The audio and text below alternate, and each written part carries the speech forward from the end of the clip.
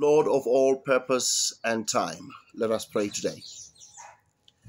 Lord of all time, grant me this day the time to be soaked in your purposes and the ability to do more with the time that you've given me, a keen awareness of your eternity and your eternal presence, giving shape to all time, fast and slow.